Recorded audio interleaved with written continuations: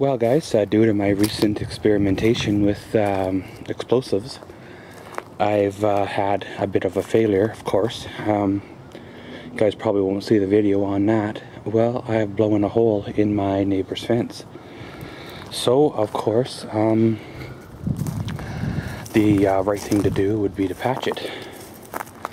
No, no, just kidding. It wasn't explosives. I'm not that uh, talented.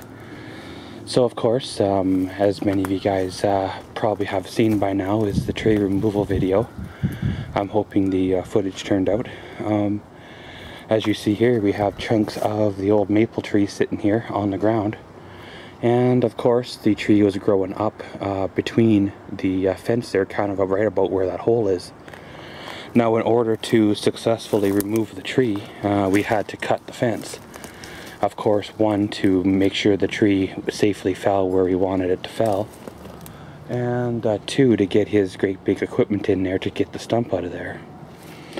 Which of course uh, leaves us with the um, task now of patching the right side of the fence to the left side of the fence. So of course given the age of the fence and um, condition the remainder of the fence is in um, I'm not going to do a 100% restore job on it because, well, as you can tell there, she's leaning uh, right there. And basically the only thing keeping it from falling over up here is the neighbor's sheds. And no, this is not my fence, this is their fence. As you can tell, um, it matches the one on the back of their property way down there. So, um, I feel it's the right thing to do, being it was my tree removal that uh, uh, cut a hole in their fence to uh, fix it for them. So I'll probably start, um, biggest challenge I'm going to have right here is joining the uh, right side here with the left side because the left side is about uh, four to six inches higher uh, than the right side. I'm assuming due to a tree root probably pushing up on the bottom of the post. So what I'll probably start by doing is, um, you know, clearing away the ground there to find out where the, the ground itself is. And um, probably attaching me a 2x4 between the bottom of that one and, you know, the bottom of the left one there. And same with the top one. It's going to be kind of a clobber together uh, mess, but uh, when you're dealing with mess, you kind of end up building a mess. So, well, um, we'll have to get it get that going and see how she goes. Okay guys so this is kind of what I've come up with. As you see here um, pretty much what I've done is I've laid a 2x4 underneath of the top rail. Um, pretty much I'm going to put some screws or nails or glue or duct tape or whatever's to hold it together. And uh, you know do that with all four um, areas there now, the way I figure is I should be able to swing that section of fence just like a door hinge um, back into place, which the um, the top rail should be able to um, meet up with here, and the bottom rail should be able to sit on there.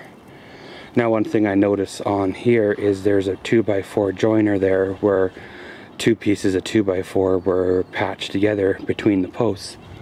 So I'll probably have to pry that off because that'll interfere with the uh, because that'll interfere with the top rail here. But other than that, that's pretty good. Going to be short some fence boards, but um, I bought extra the other day when I was down there, so we should be good to roll. Okay guys, so I wasn't able to do it the uh, easy way that I wanted to. Um, I figured I'd be able to lift the fence section back into place pretty much drop it in, nail it down.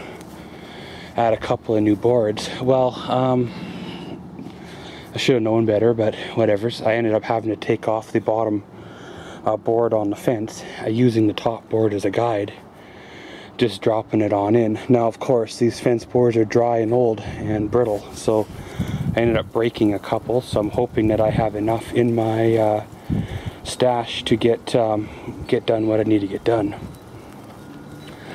I've still got a couple over here, well two anyway, of the original ones that I can use as templates to uh, make the new pickets. Um, probably have to add an inch or so at the bottom due to uh, the fact that, you know, through rot and stuff. looks like they have a uh, a 45 or so at the top to make the V and uh, you know kind of kind of go from there I'll pry those boards off the original fence take them over to the saw and uh, start cutting the uh, pickets. Well guys there you go. She's all done. Fence is up. Yeah I know it's crooked and I know it's kind of a uh, whatever you want to call her job, but uh, that's kind of the way she is. One, it matches the rest of the fence, and uh, two, it's really, really, really hard to work with uh, something that's crooked and rotten, and uh, you know, if it was a brand new fence, something that was only three or four years old, a guy would have used brand new material all the way across. And even went as far as painting it or staining it or um, whatever, but that's kind of the way she is.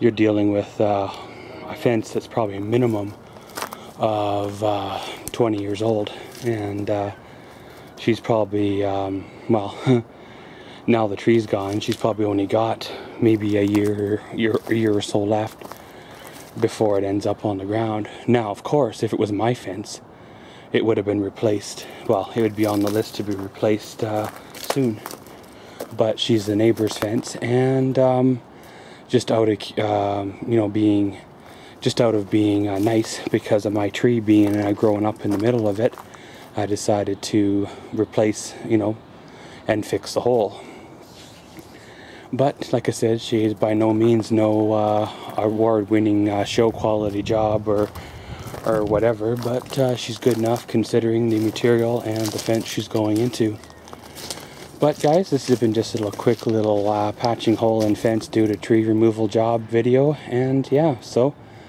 as always, thanks for watching Maxwell's World. Comment, subscribe, and enjoy.